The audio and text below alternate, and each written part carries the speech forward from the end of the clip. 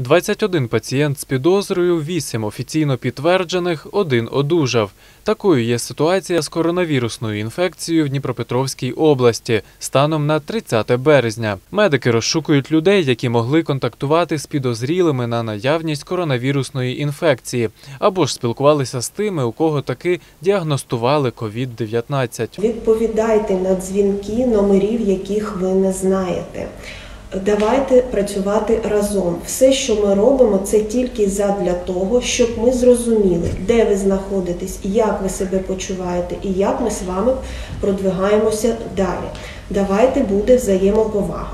Для всіх інших залишається незмінним самоізоляція для тих, хто приїхав. Це ваш свідомий обов'язок два тижні самоізолюватися. Всі інші в нас на карантині. З Києва на Дніпропетровщину надійшла друга партія медичного вантажу. Близько 200 тисяч рукавичок, понад 700 термометрів, більше тисячі ендотрахеальних трубок, також дихальні контури для дітей та дорослих, вірусобактеріальні фільтри, шапочки та бахіли. Їх розподілять госпітальними базами області. У цій поставці у нас здебільшого рукавички. Відразу розподілимо по госпітальних базах по різних містах нашої області. Загальна потреба ми рахували десь 200 тисяч для правоохоронців, лікарів, для е, всіх людей, які контактують з потенціально хворими на коронавірус людьми. Е, Зараз порахуємо.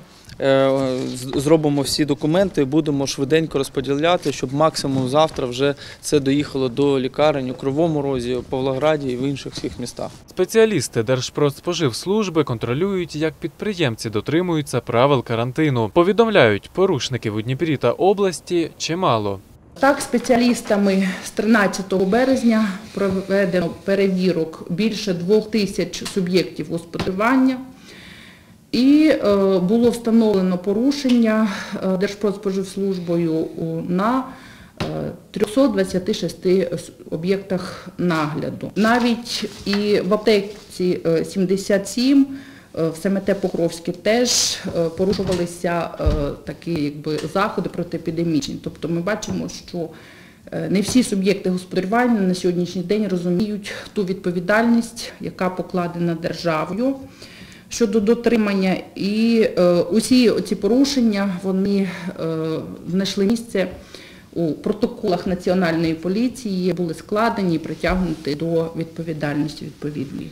Рятувальники встановили намети для облаштування тимчасових пунктів прийому та сортування хворих з підозрою на коронавірусну інфекцію. Такі намети з'явилися у Дніпрі, Кривому Розі, Кам'янському, Синельниковому, Нікополі, Новомосковську, Павлограді та Першотравенську. Загалом у восьми лікарнях такі намети були встановлені. Подальшому працівниками е, медичної служби вони будуть оснащатися відповідно до вимог, які до цього е, пред'являються. І в подальшому ці намети будуть використовуватися в якості тимчасових пунктів прийому та сортування хворих.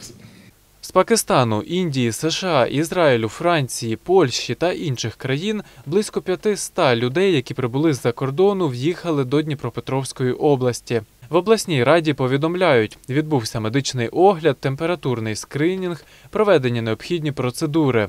Усі проінструктовані, відправлені у двотижневу самоізоляцію і передані під контроль органів місцевого самоврядування.